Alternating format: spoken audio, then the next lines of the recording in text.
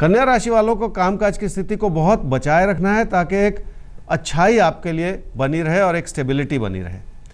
फिर भी मैं कहूँगा कि तनाव भी है, मतभेद भी है, जिसे संभालने की ज़रूरत है। आप इसको नज़रअंदाज करके बिल्कुल ना चलें।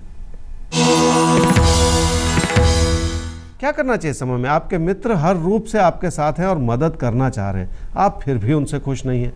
यही कारण है कि आपका असंतोष जो है, वो आपको अपनों के जैसे या अपने मित्रों के दूर ले जाता चला जा रहा है।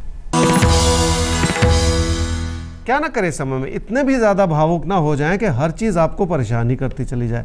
इसी के चलते जो भी आप बोलें, उसमें भी कोई ऐसी बात ना कह दे जो किसी बड़ी समस्या में आपको डाल दे।